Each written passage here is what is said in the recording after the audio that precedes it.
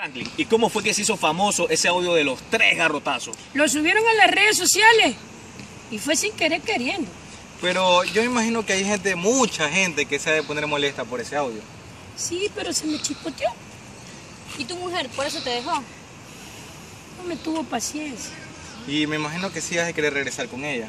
Eso, eso es lo que quiero hacer. A todos mis amigos, como podrán ver, estas son las palabras célebres que nos dejó nuestro querido Chespirito. Tenemos que recordar que nunca es tarde para poder cumplir nuestros sueños. Para siempre, Chespirito.